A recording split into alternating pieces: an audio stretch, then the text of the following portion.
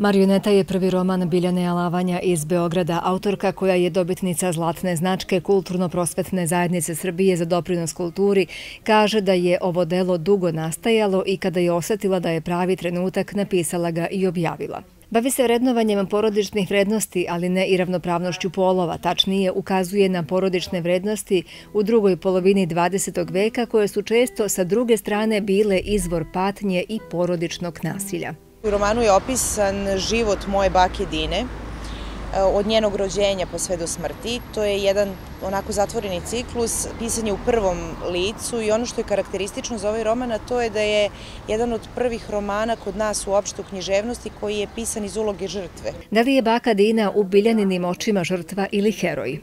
Za mene je ogroman heroj i ne smatram da je tema ovog romana nasilje, e, po meni ljubav i hrabrost, jer za takav život je potrebna neverovatna hrabrost.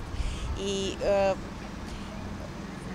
živeti na takav način život sa osmehom na licu, jer ja sam imala tu sreću da je poznajem i da ona bude neko ko je mene odnegovao i ja to volim da kažem da mi je prokrčila put, jer tim putem tim prokrčenim putem danas ja idem i uživam i to sa osmehom na licu. Književno veče u Novoj Pazovi na dečijem odeljenju ogranka Petar Petrović-Njegoš Narodne biblioteke Dositej Obradović vodila je Liljana Sekimić bibliotekarka koja je najavila da će se roman uskoro naći i na policama ove biblioteke. Cilj Biljane Alavanja pri pisanju romana je bio da ga čitaoci pročitaju u dahu, ali i da razmišljaju o njemu.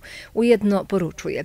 Svako može biti marioneta, ali isto tako svako može biti i lutkar sobstvenog života.